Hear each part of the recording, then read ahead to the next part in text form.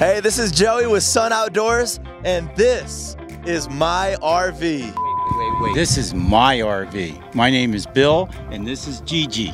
Yeah, that's what I meant. Billy and Gigi's RV from New Jersey.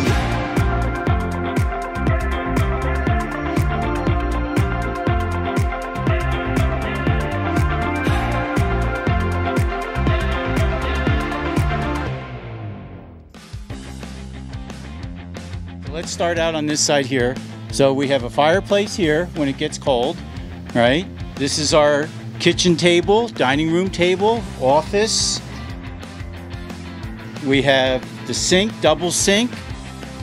We have a burner here. We have all the conveniences of home right here. All right, here's a trick question. Is the bed made because you knew we were gonna be in here, or do you do this every single day, Billy? Do this every day.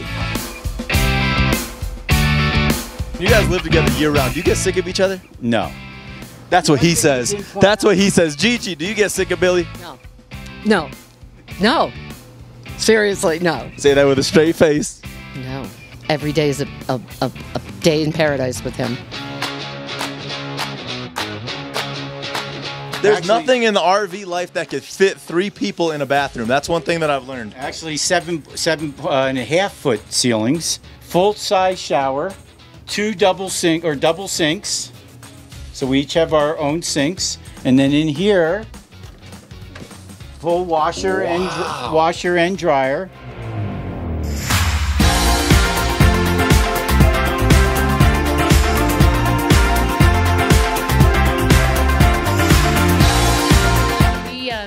Lived in Erie, Pennsylvania. We're there for 25, 26 years. Bill retired first. I kept teaching. I loved it.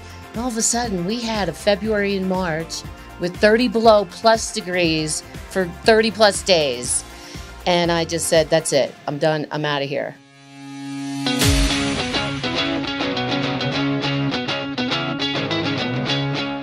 Gigi and I would like to thank you for coming to visit our motor coach.